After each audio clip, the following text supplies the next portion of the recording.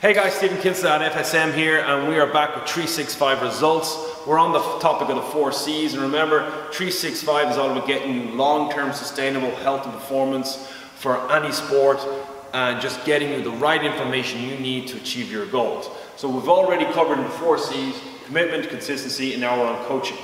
Now coaching is a big thing and that's why it's in our four C's and we're very adamant about having a coach. Our coaches get coached. Uh, I pay people to coach me depending on my goals in the year. Uh, coaching is vital.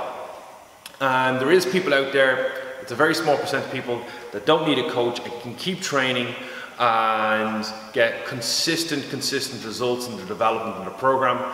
Most people that train on their own just are plodding along in the same program and tend to see very little results, but it's just become this automated thing that they do. They still have, they must still have the gut, um, and they're just happy getting monotone uh, results, just going nowhere, and just, yeah, they, they get a sweat on, they feel great.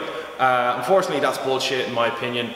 Um, your program should always, always be uh, progressing, uh, no matter your age, your gender, um, you should be able to progress in your program and see consistent um, progressions. Again, this is something we're going to go through when we get to programming.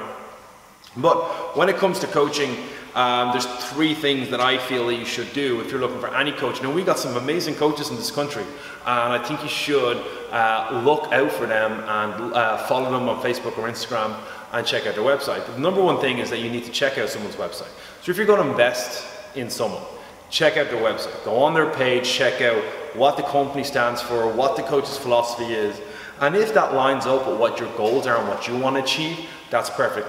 If you are someone that wants to be just healthier for your family, uh, just lose a bit of weight, feel good, look good naked, all that stuff, and you're on a website that's just talking about creating athletes, building monsters and slamming bars, probably not for you. If you're the athlete who needs the coach to grind them down, build them up, and just put all their focus and energy into just literally strict, strict, strict training, then the local Zumba class coach or trainer or Pilates instructor is probably not for you. So check that out. Second thing you do is you do, you check out their social media. You see what they're posting. Um, there's a lot of people out there that post some uh, aggressive stuff, negative stuff. Again, you don't want people that are going to be a bad environment for you. You want a positive environment. And again, we'll get that to when we come to community. Um, so once you check all that out, the third thing you do is you go and you contact them, whether through email or uh, through social media, or you give them a phone call. Speak to the coach. So if you get a salesperson or a receptionist on the phone, try and get through to a coach or trainer because they're going to have more experience um, with what you want and how to get you there. Nine times out of ten, in a kind of a CrossFit style um, or a, a, small group training facility, whoever answers the phone is generally one of the trainers there as well. So you're, you're, you're always going to be in good hands. But do quiz them, ask them to meet up, have a coffee, sit down, have a chat. Now, if that person can make sense to you, that what they train and what they teach is in line with your goals, then sign up. Now, the investment here, it all comes down to money. Do you have the money? Now, most people say they don't have the money, a lot of trainers are expensive. A lot of trainers can be expensive, a lot of trainers can be um, cheap. The one thing I do advise is that don't go cheap. If you go cheap, you're going to get a shit service. Okay? The reason is, is if you pay, say, 20, 20 euros for personal training, you are, the, the coach undervalues themselves, number one.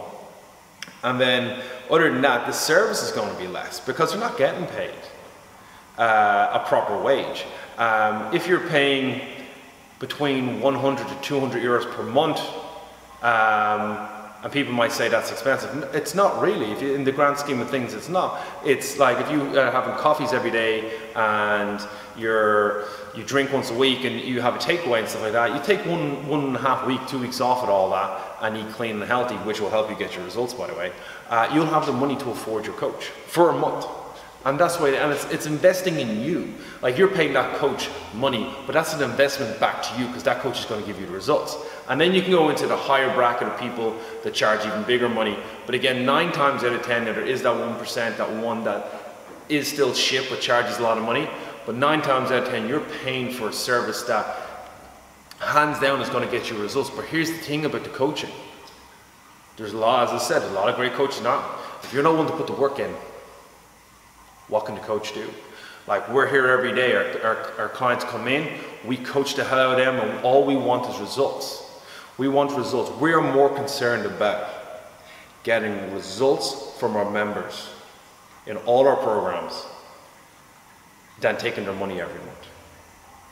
Obviously, that's a factor. Running a company has to make money to pay its bills, pay the staff, and everything along those lines.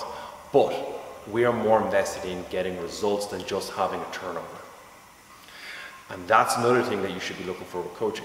But guys, hands down, if you want real results, you gotta invest in a coach. There's tons of people out there, and it's not oh sorry, the last thing. It's not just someone that coaches you for an hour and that's the last you hear them until next week or the next time you come in. It's someone that is in contact you with either through calls, emails, they're willing to talk to you before and after class, uh, social media interaction, and they're, they're just checking in on you and making sure that you are getting what you want. And if you're missing for a week or two, they're on your case. Okay? They're not just letting you swan off there because they know that your money's coming in through the bank, bank draft every month. So, guys, when it comes to coaching, three things website, social media, make the contact. If it makes sense, sign up with them, invest in a coach. It'll be one of the best things you've ever did. Guys, have a great day, better week, and an awesome month.